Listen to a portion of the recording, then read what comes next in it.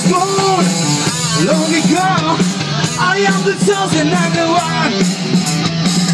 I'm the God who saved this, and I will live until I'm done. So tell me why we're gonna die. We're gonna be the hands of fire. Come and please, rearrange, until tell this planet back to us.